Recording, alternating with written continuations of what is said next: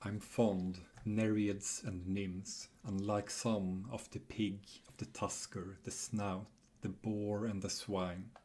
One way or another, all pigs have been mine. Under my thumb, the bristling, salty skin of their backs, in my nostrils here, their jobby, porky colognes.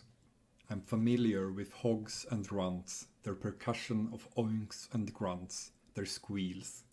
I've stood with a pail of swill at dusk at the creaky gate of the sty, tasting the sweaty, spicy air, the moon like a lemon popped in the mouth of the sky.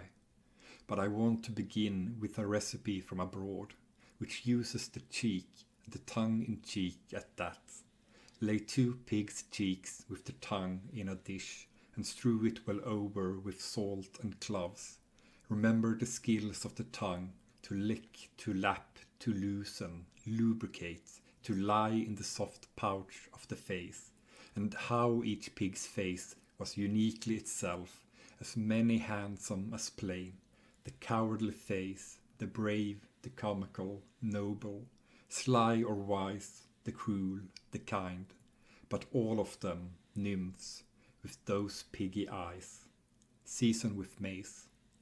Well cleaned pig's ears should be blanched, singed, tossed in a pot, boiled, kept hot, scraped, served, garnished with thyme. Look at that simmering lug, at that ear. Did it listen ever to you, to your prayers and rhymes, to the chimes of your voice, singing and clear? Mash the potatoes, nymph, open the beer. Now to the brains, to the trotters, shoulders, chops, to the sweet meats slipped from the slit, bulging, vulnerable bag of the balls. When the heart of a pig has hardened, dies it small. Dies it small.